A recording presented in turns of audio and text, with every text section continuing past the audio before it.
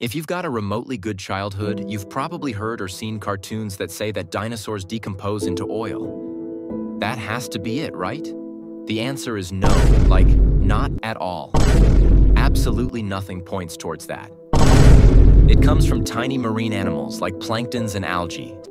Now that you've got your answer, you're probably thinking that a shit ton of them just die, decompose, and boom, oil. Simple, right? Well, you're wrong again. Thing is, these guys don't even decompose because the oxygen level underwater is way too low, so they just sit there.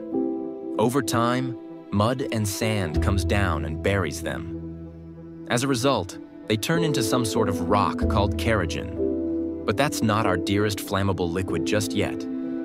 So how do you turn something solid into liquid?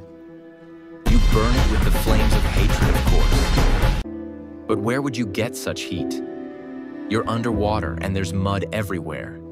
So naturally, you would borrow the power of the earth itself to heat it up and there's your liquid. Quick, make a guess what that liquid is. Well, you're probably right for once.